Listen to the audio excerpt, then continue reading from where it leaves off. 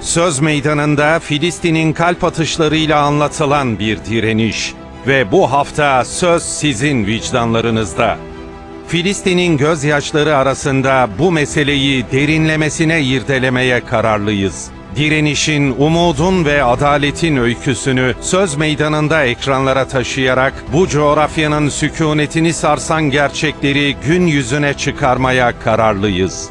Filistin'in durmaya yüz tutan kalp atışları arasında eğer elimizi uzatmazsak kaybolan vatanın hikayesini dinlemeye hazır mısınız?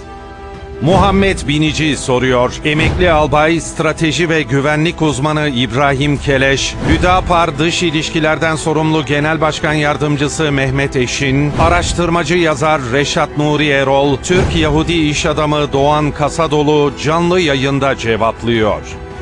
Hepsi ve daha fazlası Muhammed Binici'nin hazırlayıp sunduğu Söz Meydanı programında. Söz Meydanı bu akşam 20.30'da Akit TV'de.